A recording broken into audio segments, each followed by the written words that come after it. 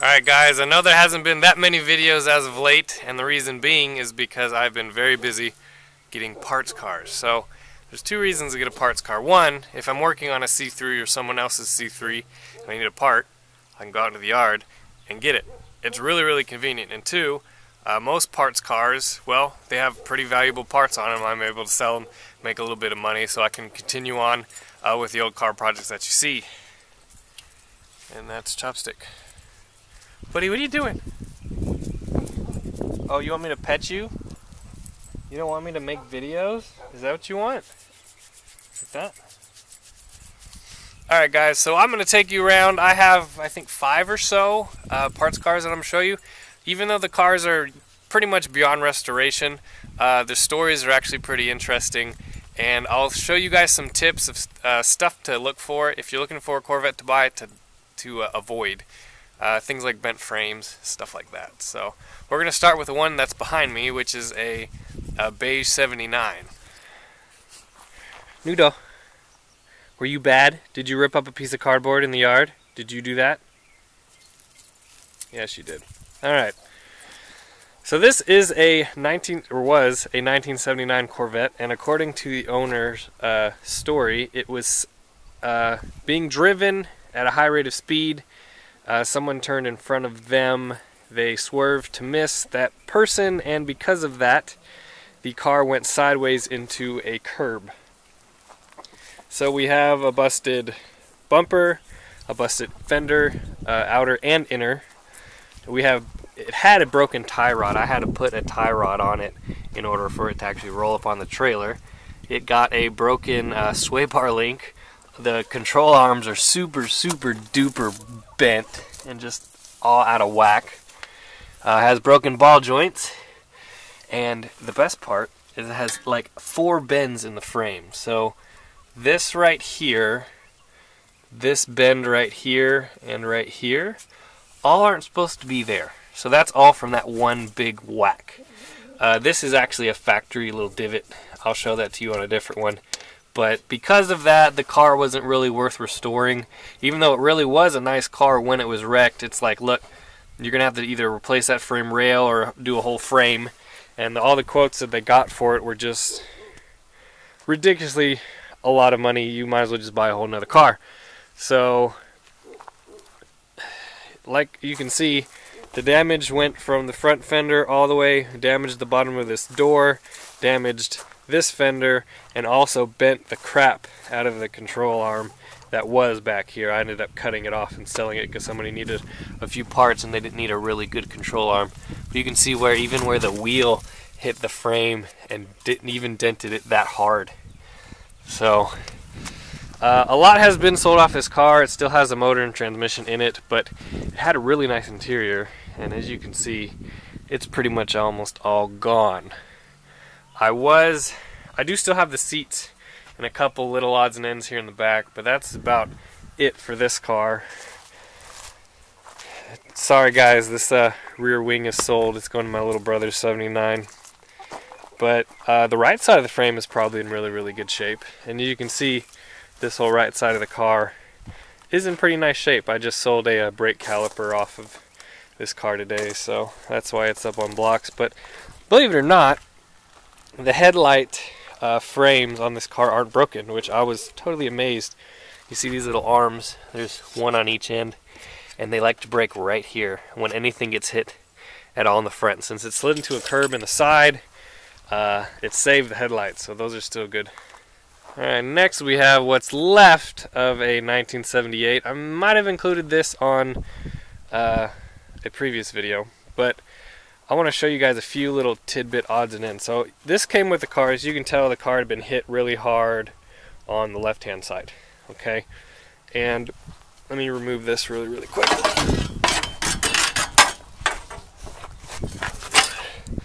With that gone, I can show you guys a few uh, little things to to see on to know if a car has been wrecked. So a lot of time the front end hits, they hit this crash bar which then sends all that kinetic energy into the very front of the frame. And with that, these welds right here under the control arms love to break.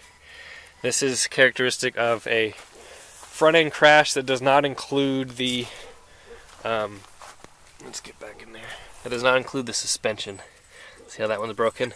So this body or this frame, I'm pretty sure it's fairly decent of a frame, but uh, you can tell that it has had some kind of impact to it. Uh, other than that, there's really not much left of this one. I got a couple trailing arms. Yep, got a couple trailing arms on this one. Uh, a rear body. It might be good for something. Never really ever came with any kind of interior or anything like that. And this is pretty much how I bought it. But you know, I'm about the only guy who would have ever bought this car. But I've made money on it, so it's not too bad. And the good part is it's going to go save, you know, other Corvettes that need parts from it. It's not really worth anybody's time, this car right here. Alright, next we have somewhat of a rare sight. We have a 68 Coupe. Now, I'm going to tell you right now, this car is not a parts car. Okay, I'm not going to cut up a chrome bumper car that somebody could potentially fix. Uh, this car has all the parts that you're that are missing except for the engine and transmission. They're in two big tubs inside of my shop. Um, but somebody gutted it for paint or gutted it for restoration, I don't know. But it used to be a pretty nice car. It was a silver car with black interior. Um, but it's all there. The frame's straight. The body's straight. It's not too bad of a car. Since there's no damage, there's not really much to talk to about on this car. But I am selling it, so if you're interested in it, uh, feel free to email me. I do have it up on Craigslist right now. Here's another Project 78 that I'm, or 70, yeah, 78 that I might get to. Uh, I might sell it whole, but I haven't decided yet. This is the car that I've been chasing for, I think, since like 2010. I knew where it'd been, and finally the lady sold it to someone else who then sold it to me. So, the moral of the story is if somebody asks for your car and you're not ready to sell it, just sell it to them because eight years later, there's a potential that same person's going to end up with it anyway. So, enough about that. Next, we have a what is left of a 75. This is another one of those sad stories. About 20 years ago, the car was running and driving just fine. Got taken apart for restoration and then left outside. So you can see all the fiberglass fibers in this front clip. That's what happens when the sun uh, beats down on it for super, super long. Uh, all the gel coat gets burned away, and what's left is just raw fiberglass.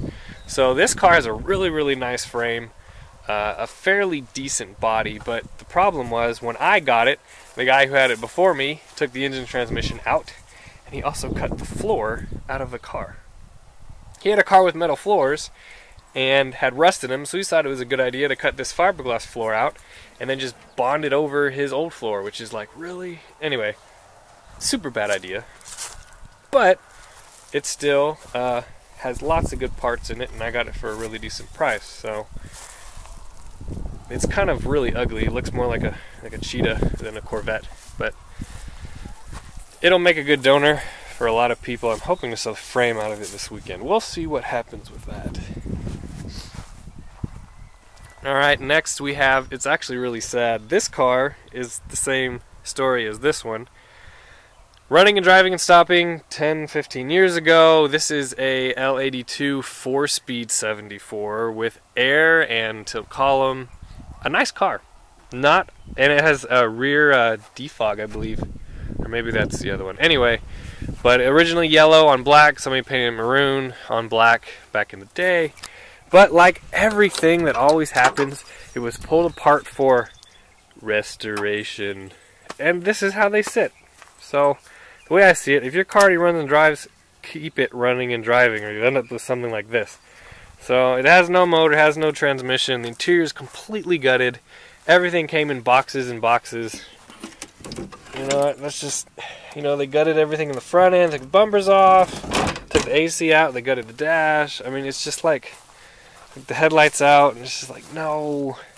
So, yes, somebody uh, very, very motivated and somebody with a lot of time and money could bring this car back, but it's going to be a parts car just because I don't have time for it.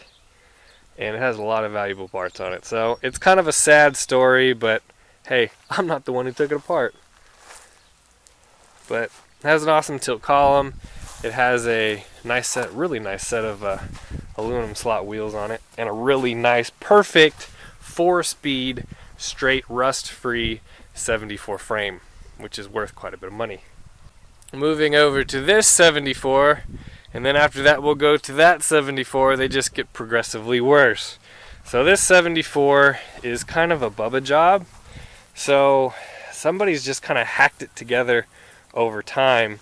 And the main hack that they did was somebody put an 80 to 82 style front end on it. And then they proceeded to wreck it. So it's just a big hodgepodge of parts. But you know what? It still has lots of good stuff. The main problem is they wrecked it hard enough that it separated the front clip from the firewall right there. But it did more than that. It broke a lot of the firewall down this middle part right here. So it's a little bit more of a than oh just throw a new front clip on it and throw an engine transmission and it'll be good. No, not really. It also doesn't have a title. There's the front bumper to it or what's left of it. So they hit that sucker hard. I don't know what they hit. Here's a little sneak peek of a car you haven't seen yet. Uh, this is a 78 Camaro I picked up out of a business about a mile from my house, and I paid $300 for it. So I'm not sure if this car is going to be a project on the channel or not. I'm still trying to figure out how to get a title for it. It didn't have a title, but what I like about it is that it has factory paint all over it. You can see right here, I don't know if you guys can see that, it says Jack Williams Fort Worth. Okay, so it's been in Texas its whole life. Somebody worked at IT in this car and then proceeded to let it sit outside forever. Even though it's been outside forever, the floors are really, really nice. The trunk is really, really nice, and the body is just gorgeous. All the wheel lips, all the rockers, all the fenders. This one's kind of wrinkly, but all that stuff is rust free. So if I did this car on the channel, it would probably be, I don't know, it would be a, hey, let's get this back on the road using all used parts with the exception of anything rubber and fluids. Ready, go. So it would be a super duper budget build just for the fun of it, just to see if I could do it. But there's no motor, no transmission. It was originally a 305 uh, 350 automatic car, so nothing super special. It's not a, you know, it's uh, it's not a Z28. It's just a sport coupe. Um, but you know, it is what it is. So inside, it's got a bunch of parts, and it's missing the seat, the front seat. But the trunk is just super duper full of more parts. So I think it'd be a really fun car, but I'm not gonna put the money into it until I can find a title. Alright guys, you ready for the worst car? The last car on the tour of parts cars is this 74 that I got a couple days ago. It is the roughest and the ugliest car I have ever bought in my entire life, so check it out. This, at one point in its life, was a 74 Corvette, but it is no longer uh, worthy of that classification. so, first, we'll start in the front. This car was wrecked super, super hard.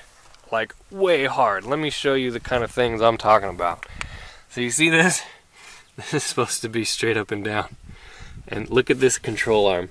You see how bent? This part right here is supposed to be like this. I mean, that's just, and that's thick metal. You've got to hit that stuff super hard in order to get it to do that. So that control arm is just whacked. The tie rod end is gone. And the crazy part is that if you look over here on the other side of the control arm, or the other control arm, that one's whacked too. Whacked really, really hard.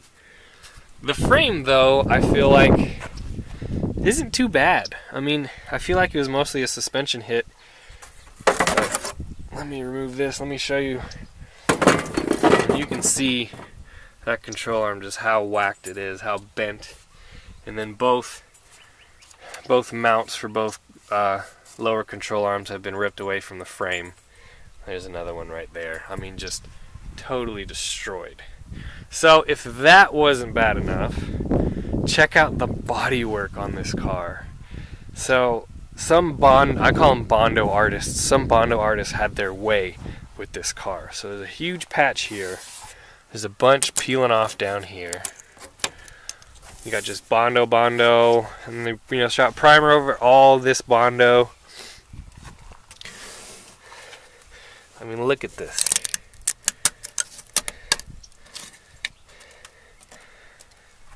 But it gets worse. Or should I say, it gets better. So you walk over here, you look at this, you're like, what is that? You're like, well, it looks like duct tape. I'm like, no, that's not duct tape. You know what that is? That's like siding metal, like flashing, or what you'd put on a house. Okay. And they riveted the shape of what they wanted the fender to be, right here. Then they riveted that to what's left of the fender. And I guarantee you what they were going to do is just bondo and make a brand new fender top to bottom on this car. I'm kind of glad they didn't. You know why? Because cars don't deserve to be treated like that. so, anyway, I've never seen something like this. You don't fix fiberglass with metal and Bondo, guys. You fix it with more fiberglass.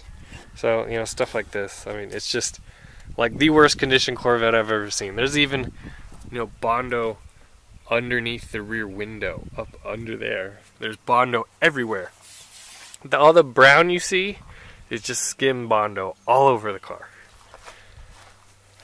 go around this side, more big Bondo patches all over the car. I'm not sure what color this car even used to be. And it looks like it was black at one time and maybe primer another time. I don't know. But, you know, they hit it hard enough that it, you know, busted that fender. That's all gone. The frame looks okay now that I'm looking at it closely. And believe it or not, the headlights actually survived with the exception of the top lid on that far one.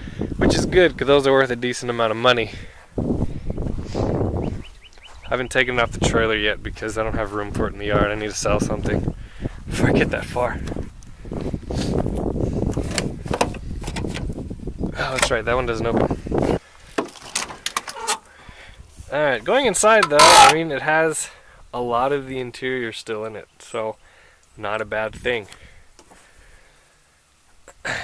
All that stuff's worth something. What is this, Bondo on the... No, that's just the vinyl peeling up. It looks like it used to be Maybe it was red at one point. I have no idea. Usually you can tell on the door jambs and stuff what color the car used to be, but not this one. So the one cool thing about this car, did you see that?